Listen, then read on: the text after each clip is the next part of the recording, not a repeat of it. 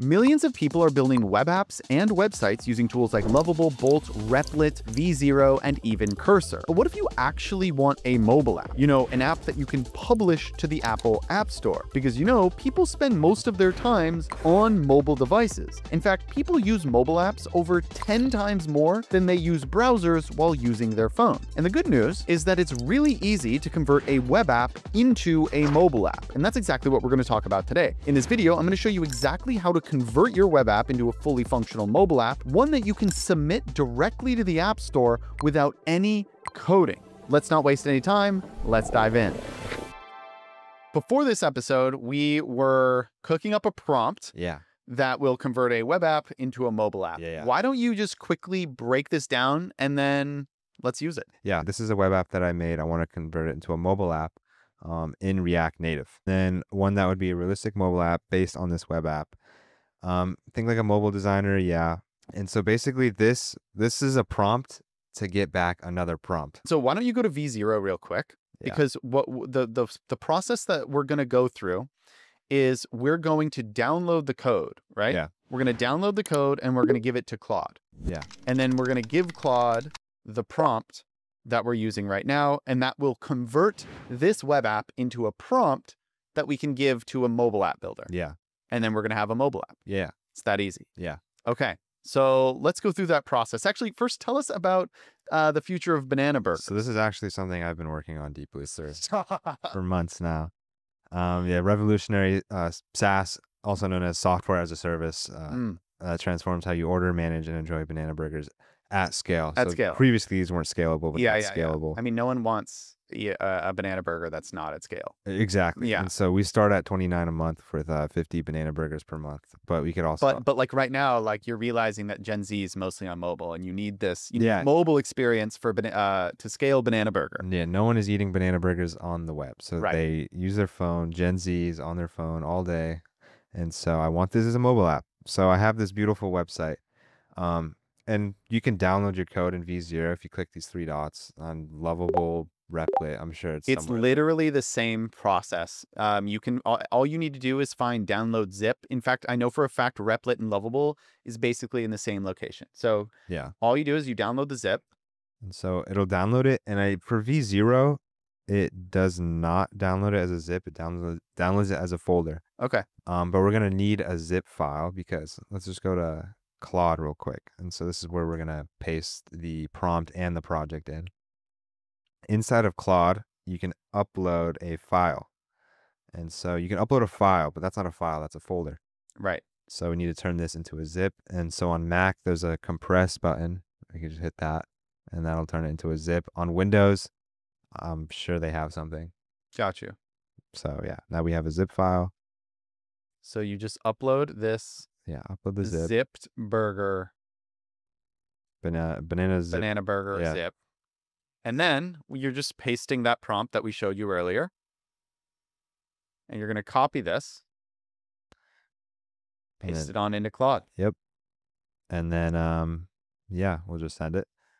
Cool. And then while that's loading, you can probably pull up your the app that we're going to be using, Vibecode. So Vibecode is basically Claude code in a mobile app that builds mobile apps.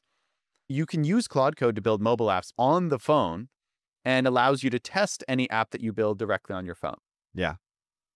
And so, yeah, I have that open right here. And then all you do is press new project and whatever the output is of this, you can just paste into Vibecode. Yeah. Amazing. So we can see that Claude read like a bunch of the files and whatever, and then spat out this prompt, and it looks pretty good to me. Like I don't really want to read it, but it seems that it got like some styling right, and um, some CTA stuff, uh, call to action, and so we're just gonna copy that. And now we can paste it directly into the mobile app. Yep. And now we can uh, just paste that directly into the mobile app. Cool. And then send that off. Very cool. And then we uh, we wait for this to do its work. Sounds good. And while that's loading, let's go ahead and uh, generate a logo for it. Um, I'm thinking something like Banana Burger. So on the Vibecode app, you don't actually have to wait for the agent to be done. You can just generate, do burger 3D render. Yeah, maybe we can like get a banana character, banana burger man Banana Burger Man. sure. cartoon. Cartoon. Ooh, hold on. That's kind of sick. I see. That's what I'm talking That's about. my prompt. dude. That's, the That's your character- prompt. That's your prompt. But anyway, we're getting distracted. Let's go back and see with how the app's doing. Ooh. The app is now finishing up. It's being built. And so all we've done is we took an app that we built on any other platform. In our case, it was V0. We plugged it into Claude, used this prompt, and then we plugged it into the Vibecode app. And let's see how it did after one prompt. Boom. The future of Banana Burger. Oh yeah. Everything you need, smart ordering. Now these cards are exactly what I have inside of uh seems to be dark mode. So it is seeming dark mode. But everything from the website is carried over. So like this everything you need card, everything's the same. Um how it works is also the same as the website, you know, same steps. And the pricing is the exact same with the exact same uh, you know, abilities my customers get. I want to test one thing maybe.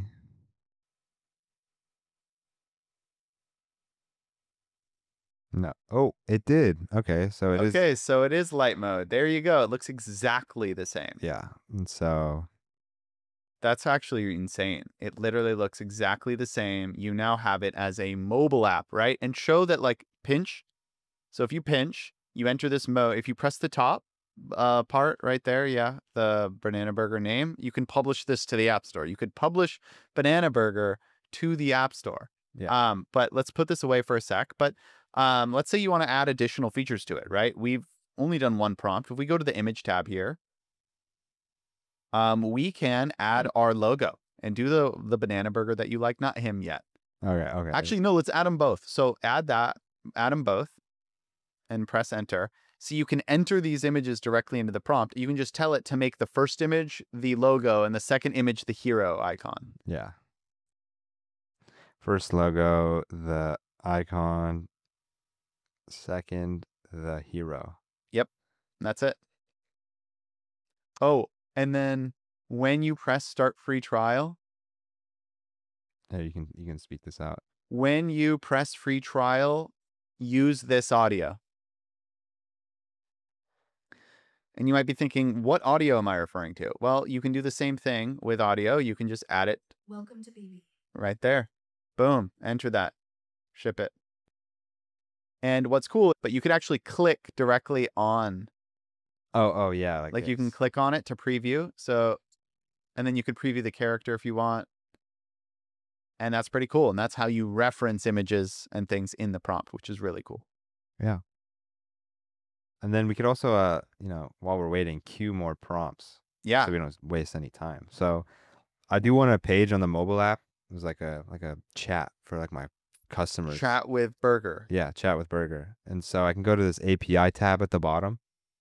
Um, I don't think you guys. I can go to this API tab at the bottom. And in text generation, I'll use I'll use Grok for this because it's a little cheap. Um, and I can say add a like a screen, um, which allows my customers to chat all about banana burgers. Make the icon Yeah. for Banana Burger the second image I just gave you. I would include that it's vertical orientation, Vertical orientation. like it's not a square. Yeah.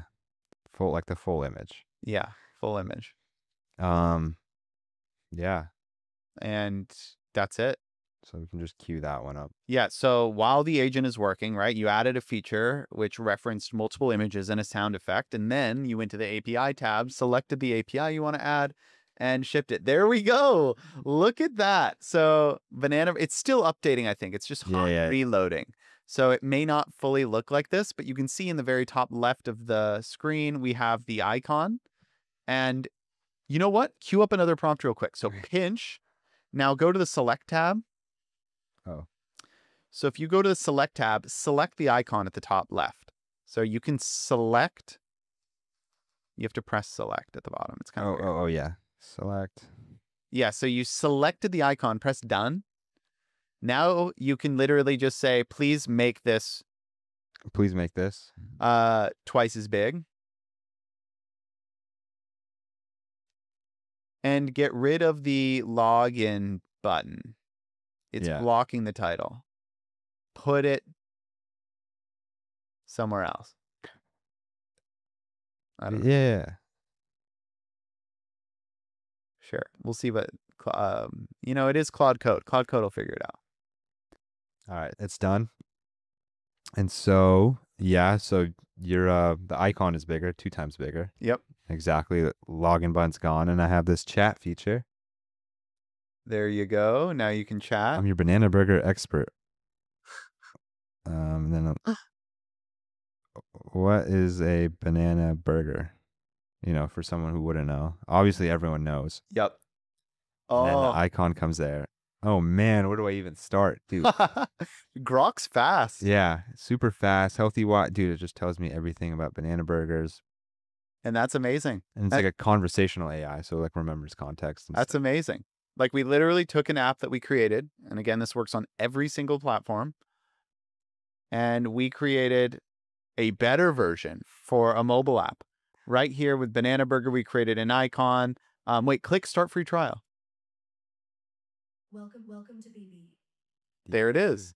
We added sound effects and we added AI functionality. And then also, if you wanted to have users sign in, you could use Vibecode Cloud. Yeah. which we're going to talk about in the next few weeks. Go ahead and zoom out for a sec, pinch, and click App Store.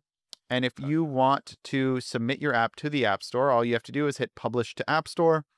And now you can go through this flow.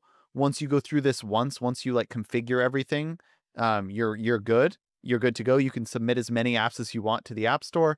And we're trying to make it as easy as possible to get it on the App Store. That is Yeah. the flow that you would go through, and then you would just generate an app icon for it, and then you would send it off to TestFlight. Yeah. And yeah, that is how you go from web app to mobile app. Let us know if you guys want this feature, like a one-click button solution for this. Yeah, I've been be- throughout this video, I've been thinking about what the best use case would be. Probably just like import from V0 or import from Replit Yeah, yeah, or something like that. I'm not sure how we could do it, but I'm sure we could come up with something. yeah. Anyway, we'll see you guys here for the next video.